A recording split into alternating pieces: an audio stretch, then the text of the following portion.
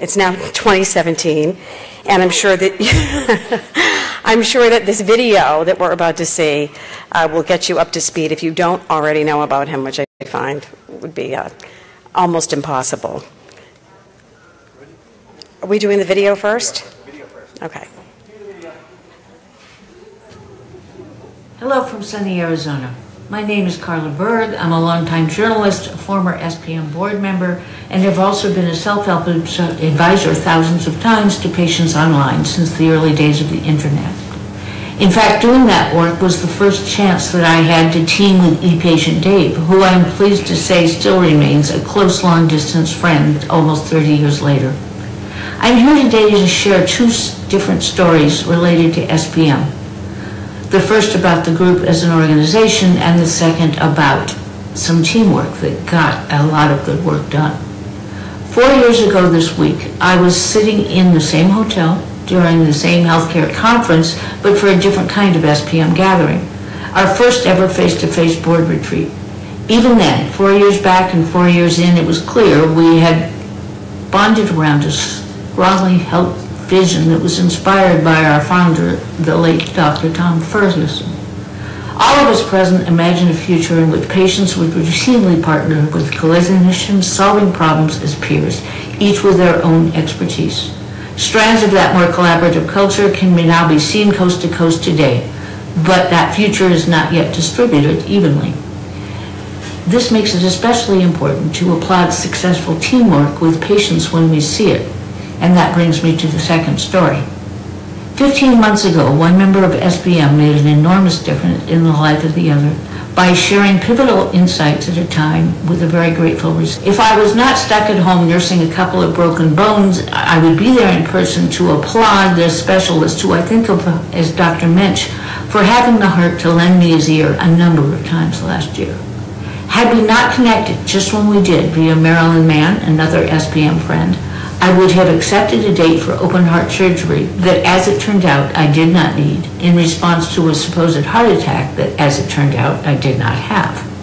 But instead of checking in for that massive surgery and its protracted recovery, the cheerful, calm specialist encouraged me to take my time to solicit a range of opinion before scheduling anything.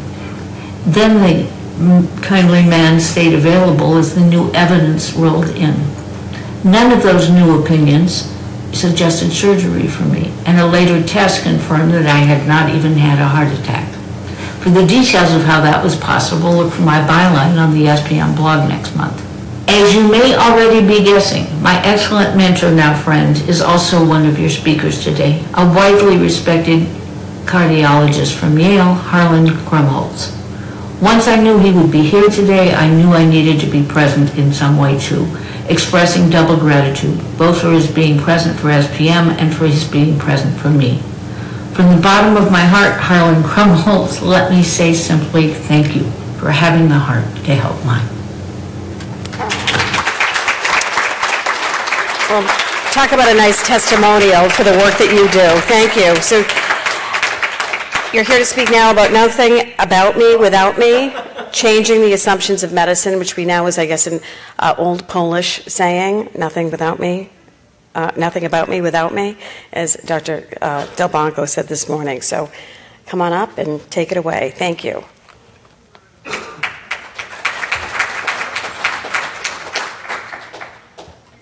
Well, that was the most amazing introduction I've ever had. And, and thank you for your introduction, Carla. I think you're listening. Thank you. That was uh, that was just remarkable and so appreciated. Um, so, uh, you know, in the course of my own journey, I've run into so many amazing people. And I, when I was asked to give this talk, I, I immediately said yes. I mean, as soon as I could figure it out on my calendar that I could make my way here, it, it was never a question of wanting to be, it was only whether I could because uh, I don't know, there's like a bunch of fellow travelers here, people who share common, common ideas and hopes and aspirations and an impetus for change that will leave us better off than where we are today. And so I was touched to be asked. I'm honored to be here, and let me just get started. So, do I know what I'm doing? No, you got to switch the decks. Okay.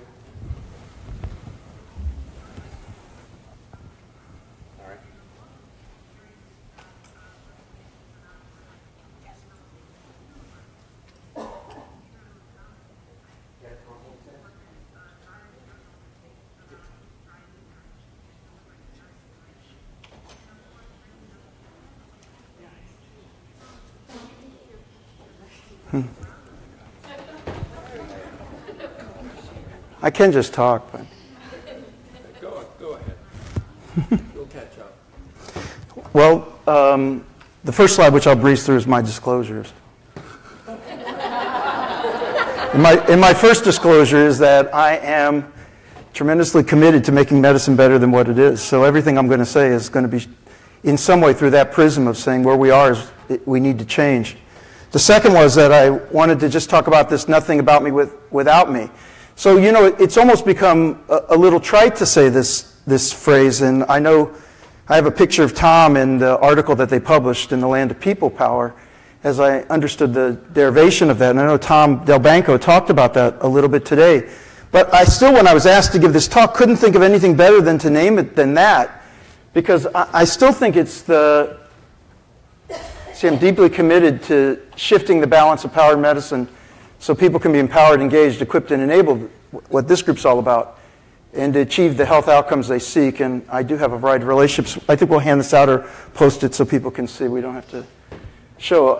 Oh, yeah, I wanted to say this. So, one of the things is in the course of this, I will be critical of my tribe, the group of people who are health professionals, but I want to say that um, I have deep respect for every healthcare professional. I do think they're heroes. I think the people are out there trying to do their best. They go into the profession in order to do their best. So, in the course of our criticism, I think I understand it as criticizing a system that has put people in a position where it's very hard to do the work that they would like to be able to do. All things being equal, I don't know many healthcare professionals who don't want to empower and engage their patients, take the time to help them make the decisions that are best for them. So I, I just want to be clear that there's, when we're talking about positive change in the way that things are and the way that things should be, I don't think it's about bad people. I think it's about a system that became oriented in a way that, that served the people who were there to serve. And in some ways, we're keeping the, the trains going without thinking about what it was like to see through the eyes of the people that were there to help. And so I, just want to call that out. But as I was saying, this nothing about me without me is the key fundamental point, which is are we moving so fast that we leave the people behind?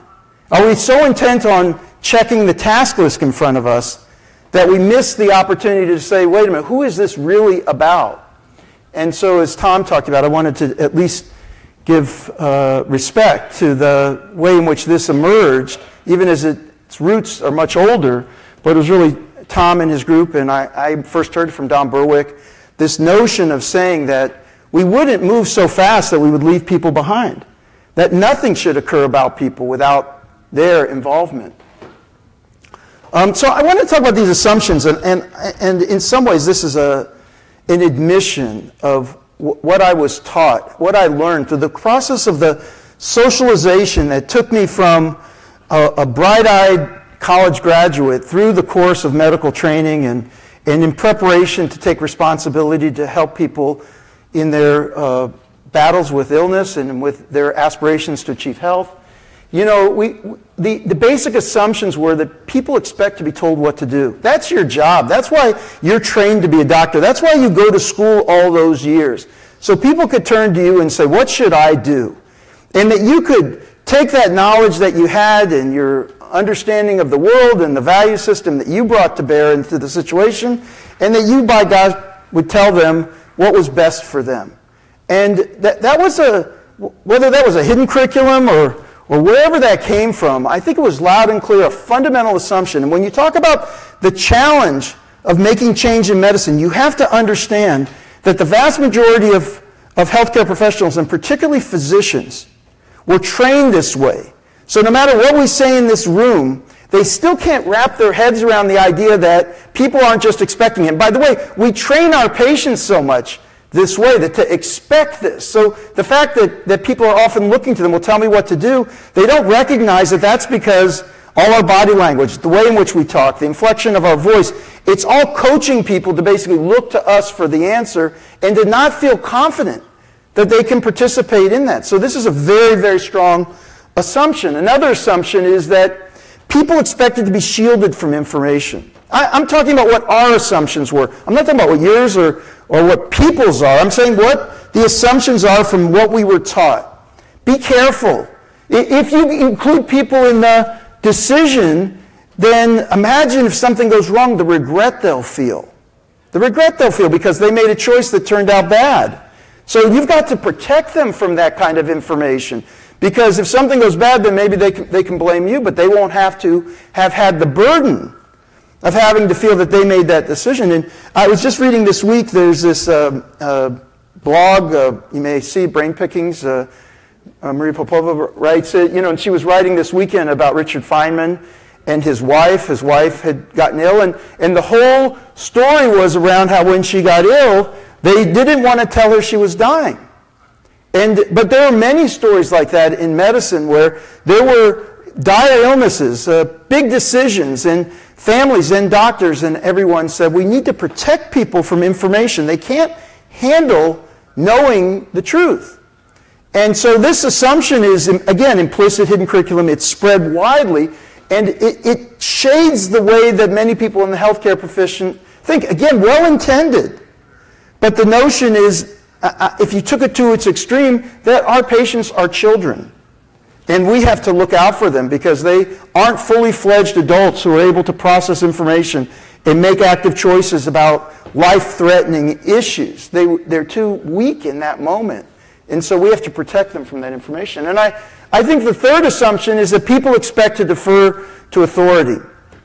You're a shaman, you're there to, to, to, to come in to great fanfare. And the more important you are, the, you know, the higher you are on the pecking order, the bigger you are in the hierarchy, the more that people, the, the, the water will part, you know, the, the, the young trainees will move aside so the senior physician can walk into the room and everyone can, can just listen and defer to what the, the top down says. And so th- these are very strong assumptions. And I argue that if we're really going to make progress, it starts with understanding these issues and the degree to which they are embedded in the psyche of the medical establishment. So it's going to begin with education in the medical schools and how that's broken down. It begins with understanding the role of teams and collaboration.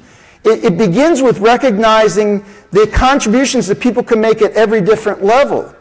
And it begins by saying that we're all in this together in partnership to try to achieve goals, not as a singular person on high coming down and conferring wisdom that everyone else is going to follow. The notion of the person in the center, rather than the doctor in the center, is, is a new vision of the way in which healthcare can proceed. And it's not one that has necessarily gained traction yet, despite the fact that when we're talking among ourselves, we take it as second nature that this is the way things should be. But it, it's not one that necessarily within the halls of medicine, and when people are transacting quickly, that is one that is, is widely embraced. And I'll just say that what needs to change is in order to attack this, in order to understand it, in order for us to get to a different way that things are done, I think it starts, I put at the top, with culture. We, have to take a hard look at the culture of our medical world. I mean, the degree to which is there the opportunity for people to question? Is there the mutual respect for everyone, both not just patient healthcare professionals, but among healthcare professional teams? So there's not a natural way where someone walks in and their word is just the word, but that there's an ability for that. And then the structure. There's no way you're going to institute this if it's a one size fits all seven minute visit for everyone who comes in. And, in part that's going to be, it's not going to be that you, the only visits are going to be with doctors. We have to see how the team does. And I will even go further to say we have to start to be disruptive in our thinking about, well, what's the use of an office visit anyway? I mean, who's the office visit really benefiting if you've got to spend your day going? What's the waiting room for? What's up with that? Why is there a waiting room? And why is it set like that in terms of the, the relationship? I was down at Dell Medical School. They built a clinic they had a design guy, the guy from IDEO who was there uh, doing their healthcare, has come to Dell. They don't have a waiting room. They're saying, why should we have a waiting room in this clinical building? I thought, great respect to them for thinking like that. But the notion, again, you're coming to me. I'm the one sitting in a room. As much time as it takes you, you'll finally get to see me. Or one size fits all when one person really needs 45 minutes. Another person probably doesn't need to see a doctor. And by the way, on health education, who is best positioned to do health education? How much training did I get in health education? How much is my time? How much is other people's time? How much time is there? How does it get spread? Are people doing what they're best positioned to do? And then the incentives in the system have to change. Again, the business of medicine has to be paid attention. If Iora is doing a great job because they have inspiring leaders, what we need is what routinely occurs everywhere. We need leaders to show the way, but we need incentives and structures to make it so this is not exceptional, but this is routine. I always say the top 1% of places in the country can't take care of 100% of the people. We need routine excellence. We need to spread and scale the way that things should be. We don't need to just be celebrating the unusual exceptional. We need to figure out, we need to applaud it and then spread it and make it just boring routine. That's just the way things happen. And the question is, how are we going to accomplish that? So I'm going to go through a series of things where I'm saying I think there needs to be a new set of assumptions that are replacing those old assumptions. And I, think it starts with, and many of you know this about me, I think it starts with your data.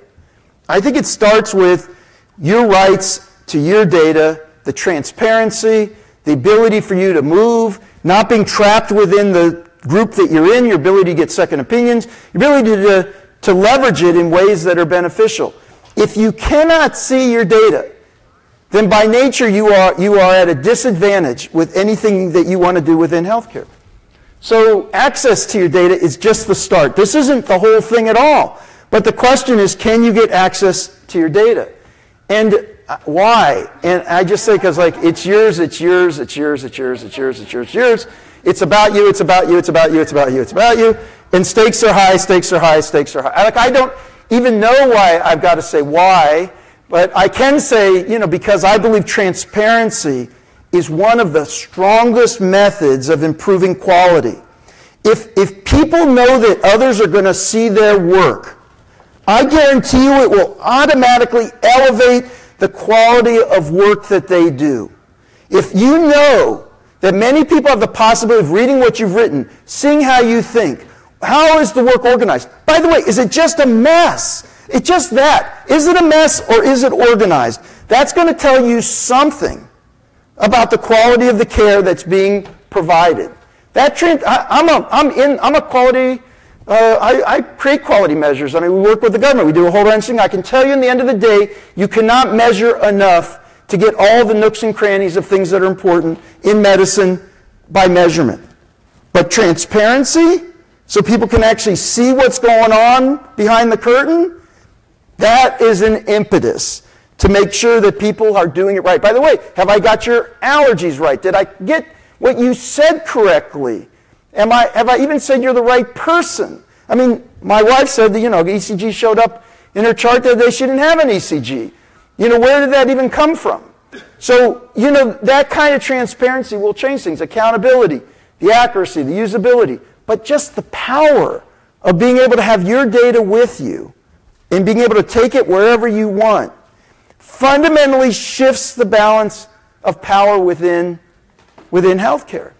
But, you know, I, I, just go back to, you know, one of my heroes, Hugo Campos, who any, many of you know and uh, everyone adores.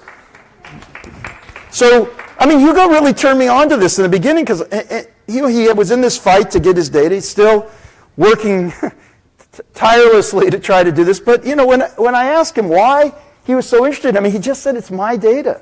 Like, it, there's something about it that made him hold to say, why aren't I able to get my, why am I not able to get my own data? And uh, I, he's right. And I just want to say for this group, this group is a very savvy group.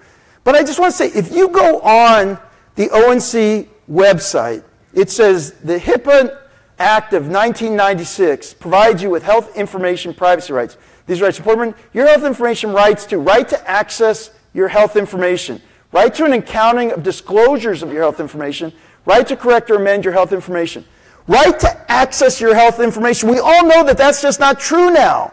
It's a federal right that's violated every day. Right to an accounting disclosures. Every healthcare institution has business associate agreements where people are sucking data out of the healthcare institutions, de-identifying it and selling it without your knowledge. You have a right to know where your data went. I don't know a single institution that can give you that accounting. That's your federal right. I, I don't know anyone who can give you that. You should be able to go to any healthcare institution, any covered entity that has your data and say, by the way, who did you give my records to?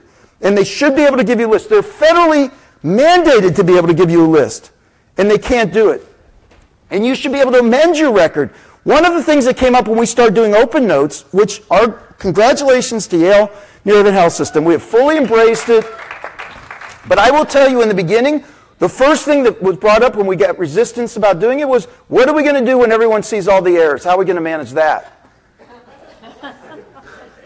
There's something backwards where you don't see that as a good thing to be able to fix the record. It was like, how are we possibly going to handle that? And then people started getting up to, you know, the, the, the unusual circumstances where, well, we just said this person was obese and now they're going to fight about us whether they're obese or not. You, you know, it, it's, it's the small stuff that people think about. And, in, the opportunities, instead of saying, if we've got a lot of errors, we've got to fix them, wasn't immediately on their, their radar screen. But uh, again, pushed through, we have it, it's embraced, it's, it's now part of the culture. But, but I'm telling you what the things are. So I just want to go through this.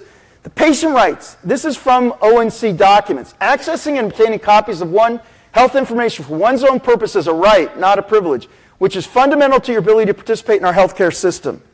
If this group can't make this happen, what group can make this happen? It, it, we don't have to get a law passed, it's passed. We don't have to get the right, we got the right. What's missing is the enforcement and implementation of this right, which again, I don't consider to be uh, sufficient to make change, but I consider it necessary to make change. If you don't have this, I don't think that we can move forward on the others part. This right extends to a broad array of information Lab results, images, prescriptions, notes, as well as to data holders, doctors, hospitals, health plans, and providers. Liz, this is like you have a right to your stuff. And wherever it sits in every covered entity, they all have an obligation to do it. Whether it's Aetna or United, or whether it's Yale, or whether it's a doctor's office, or whether it's CVS or Walgreens or Walmart, who's ever the covered entity, they are obligated if you call in order to do it. Plus, what's more, and the reason that you're thinking about the pricing so bothered me today was per page charges do not apply when the individual is requesting a copy of information maintained electronically. I'm not writing this, I'm copying it from the ONC document. So next year we need the head of ONC to be sitting at this meeting and we need to say, when does this start? You're sending out stuff. No, but I mean, they're sending out government documents that is saying stuff that's just not happening. So I don't know how much they should label it fiction. I mean, what, is it in the nonfiction side or is it in the fiction side? I mean, really, is it fantasy literature? What is it exactly? You can't continue, and believe me, everyone in ONC, they want this to happen. So these are really good professionals who care about this stuff. So I am not in any way saying they don't, but they don't have the political capital to push it forward. And there's, you know what political capital is more important than any political capital? People. I know there's lots of lobbyists and things, but you know what matters most are people. So how do you start helping them? Because all they're doing is reflecting what the law says, but we know none of this is true. And if you go even to my own institution, people will send you to the basement where they easily know how to deal with a request at 39 cents a page up to 400 bucks for your record. You say I want my digital stuff and can't charge me per page, they don't know what you're talking about. And they can't really charge more than $6.50 for the processing of that stuff. I want to go back to this because I just think it's so important too. Lab results, but look, images. It's images too. It means like it's not just the report, but you say, I want to go for a second opinion because I just got an important diagnosis.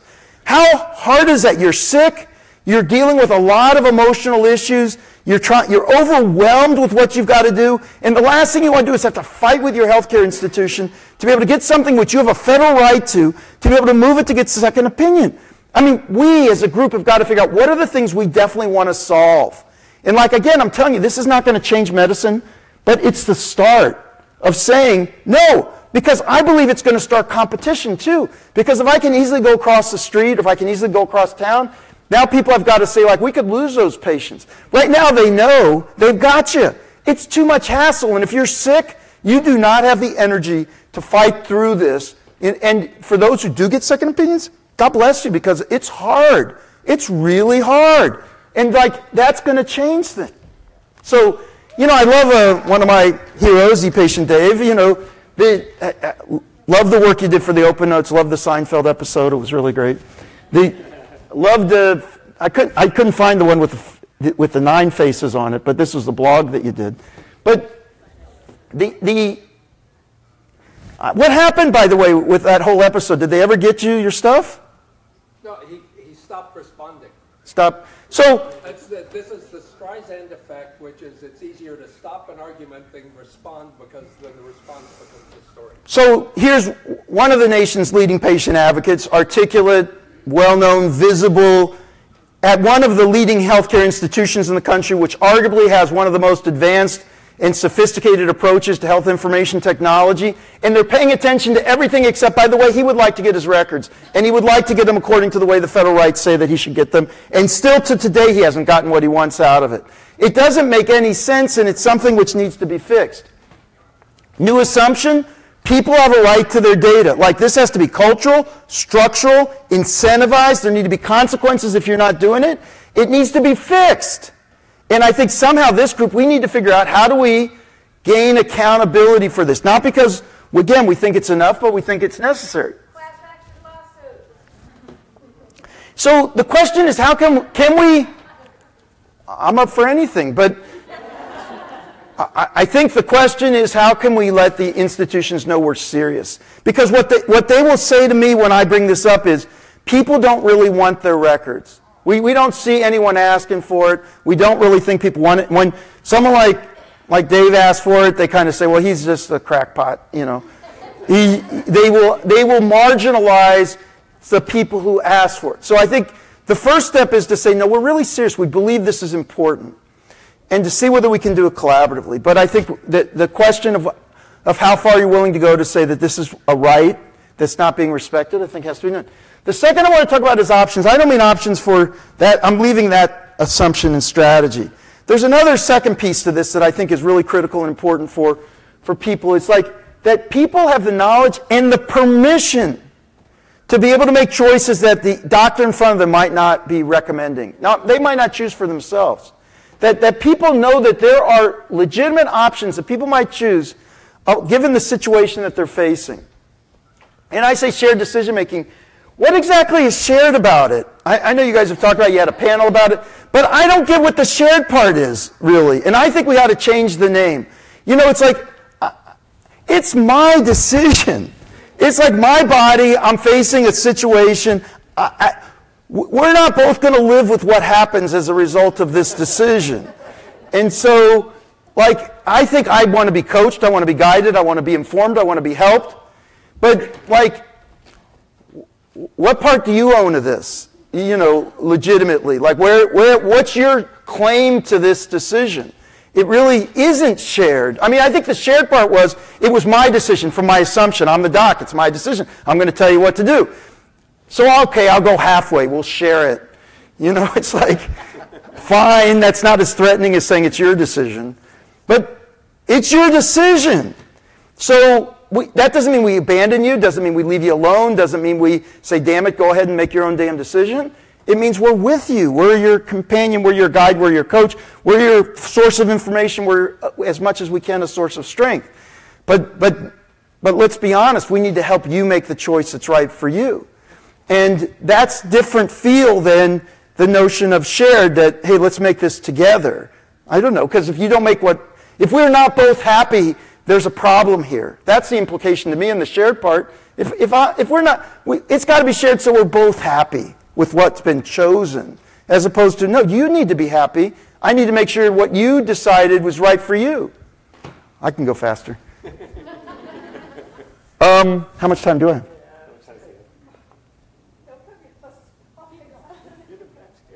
Five minutes? Okay, I'll go really fast. So, you see this thing? I think people could understand this as being the patient and the doctor. I don't.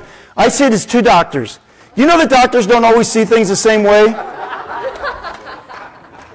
No. But this is like, do people have the permission to say, here's what I'm recommending, but you know, if you came in to see somebody else, they might recommend something different? Do I have permission to choose? That patients need to be given permission to see the options and make choices.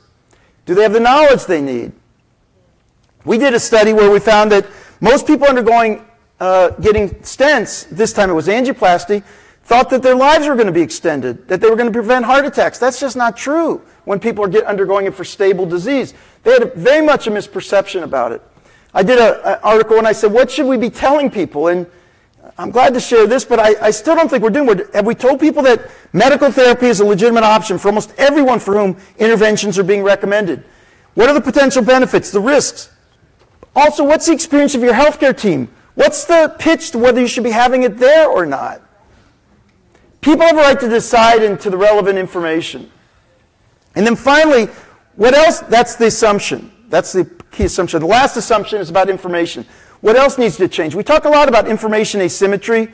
When relevant information is known to some but not to all parties involved. We talk about that in, in, in the physician-patient uh, relationship. The docs know things, patients don't. That, you know what the real truth is? There's most of the stuff God knows and nobody else knows. Because we haven't learned it yet. There's so much uncertainty in medicine. We're not honest about that degree of uncertainty. And we're not working together as a collective in order to generate the knowledge that we need. It's what's missing that's the problem. Given your unique circumstances, how do we under, inform you about what your risks and benefits are and what, what's available to you? I say the scientific enterprise can't keep pace with the information needs of people and patients. And, and I think that we have the power to generate this data together, knowledge generated in everyday practice. This is where we need to go. Each person's better off for the contributions that they're making to the people that follow them. I'm better off because the people ahead of me People behind me are better off because I'm sharing the information about my experience. It's like when we're driving a car. I know there's no traffic here because the people that were a mile ahead of me, their data has helped me. My data is going to help the people behind me. We need to create a culture and ethos, a structure within medicine that we're saying no one's experience gets sequestered. It's all collectively understood, organized, and systematically learned from. So the next person's always better off than the last person. And we do it with permission. It's in front of us. It's by our participation. It's not because someone behind our back is taking advantage of us. And I think people, this is a new assumption, people have a right to actively participate in research. And research can be faster, better, and cheaper because of it. And people are given, are integrated into the governance. They're respected and honored. They're told what the results are. They're part of a community. They're true partners in the knowledge generation enterprise. We've totally flipped this and say, you can't have it without it.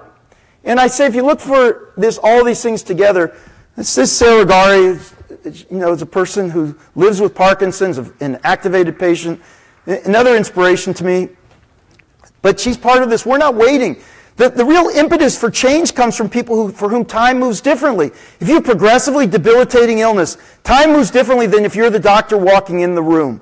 You are in a rush. You need for information to be generated. You need for the systems to change. You need to be supported in ways. And I would say to all of you who are pushing the edges of this uh, movement, the most important thing is you're not alone. You're not unreasonable and you're not too annoying, bothersome, or irritating. You're, you're doing very important work that's critical, that's sometimes uncomfortable, but, but needs to be done. You're bringing much needed change. And I think it's going to be through the collective action. So this comes back to the society. By, as individuals, it's hard to move. Collectively, we need to figure out, and, and it has to go far beyond this room It has to be millions of people who feel empowered and connected and benefited by being part of a community that's contributing to making a future better than it was in the past. I think part of this is access to data, control over decisions, participation in research. These are three planks. We're going to make sure people have access to data. We're going to ensure that people have, it's their decisions and that the culture is going to shift to recognize that and we're going to create the avenues for people to participate in research like has never happened before because we're going to increase the, speed and bandwidth and scope of the knowledge so it can inform the future choices. The culture, structure, and incentives.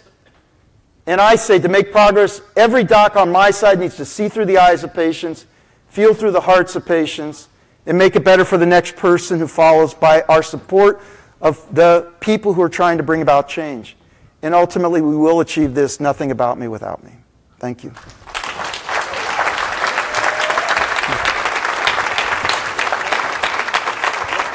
it's uh, such a shame that you have no passion for what you do. um, thank you so much. I think that was great. And I don't know I if know I we have went any over, time. maybe Shannon should uh, come up. Do, Okay. can we, do- anybody, uh, we have a time for a couple of questions, I guess. So I'm going to let you go, and then we'll. I'll, I'll be quick because it's a statement. You have to be on the microphones because it's being recorded. Ah, one right next to the camera. It's plugged into audio. Troublemaker. Somebody taught me to think independently. The, um, yeah, it was my mom. Uh, seriously, the, uh, I, I want it to be clear that blog post that you put up that I said said there was responding to my CIO. The, the issue there was not just me recording, requesting my information. My hospital CIO, Beth Israel Deaconess, had blogged that of 2 million patients at Beth Israel Deaconess, not a single one had ever tried to download their complete record. I, I thought, where the hell is that button? And I went there, uh, and there is no button to do that. so what is it? What's going on here? There's a smokescreen. So I asked tech support, and they gave me a vague answer. And I asked, but what about? And they gave me another one. And on the third try, and that's the screen capture that Harlan showed, on the, on the third try, they finally said, we do not offer a button to do that. All right? So I came back and said, Dear John, I want to do this. He replied with a subject, What is patient engagement? And it was a completely different. And when I attacked back on another one, he stopped, he stopped responding.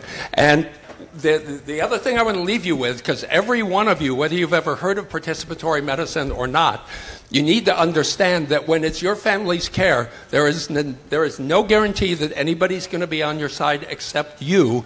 And this goes back to one of the things that Hugo Campos found. The earliest mention I've seen of nothing about us without us was in the disability rights movement in the 1980s in South Africa, where as wheelchair regulations were getting written, they found that if they weren't involved, the regulations came out stupid. And, they, and a comment that came out, whoa, comment that came out uh, following up on that was, when someone else speaks for you, you lose which is exactly what the feminists like Susan B. Anthony and Elizabeth Cady Stanton found when they sent men to represent them in Congress. Thank you.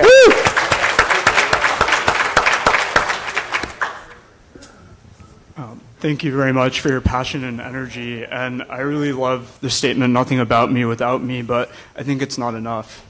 Uh, I think we need to go beyond that. As we think about designing the systems that will enable true participatory medicine, um, we need to look at the most difficult, difficult situations for this, and that's where I work. Um, for example, I work in adolescent health information access issues, and I can talk about this from personal experience as a patient as well as from being a pediatrician. Um, but I'll share one brief example, or stat basically. So, adolescents diagnosed with cancer, only 13% of them are informed about their fertility options.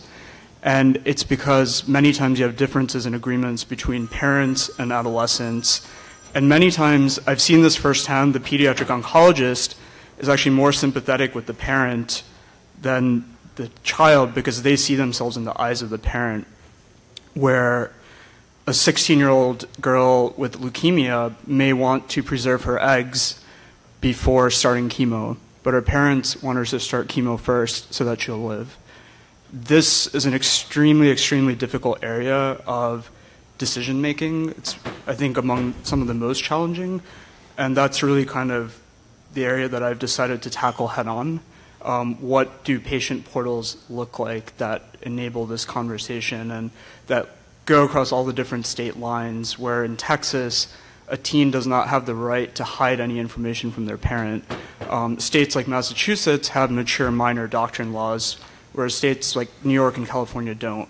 It's a very complex minefield, and basically, it's more of a comment but also a question to, to begin to think about this. How do we think beyond nothing about me without me, um, not just in adolescence, but also you know where you have multiple caretakers, um, and so that as we, as, it's a word of caution as we design the next systems, to really actually start with the most difficult cases first.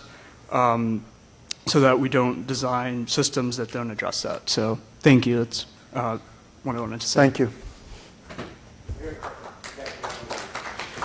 Um, mostly, I just wanted to say thank you so much for being so passionate and having so much energy and giving voice to this issue that many of us um, hold near and dear. But I couldn't help thinking there, there must be something. What drives you to have the passion for this? Is there one single thing that you've experienced or seen that gives you the energy to fight for this? every, every day you see things. I, I guess for me, there's nothing that's more, there's nothing that's worse than abuse of power. I think, I think there's a privilege to be a healthcare provider, and we need to be able to develop the systems so that we can provide the kind of health and assistance and support and empowerment, engagement, all the things that we've talked about in ways that we are very difficult to do now. Not because we don't want to, but because the systems don't do that. And I don't know, I just aspire to a better future, and I, I, I would like to see be part of that change. Well, thank you for that. Thank you. Yep. 15 seconds. 15. Amazing. Aneesh Chopra at Health 2.0 said half the hospitals in the country uh, affirmed under pain of perjury that not one patient had asked them for their full data.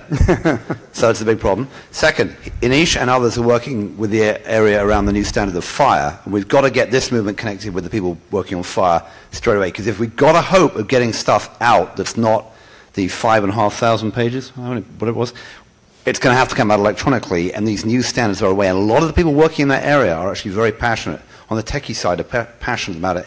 And I haven't heard that said today. So that's the, I mean, I will help make that connection as much as I possibly can, but that's where we at SPM have got to go because we've got to figure out how to put the story behind that technology change, and that's really urgent now.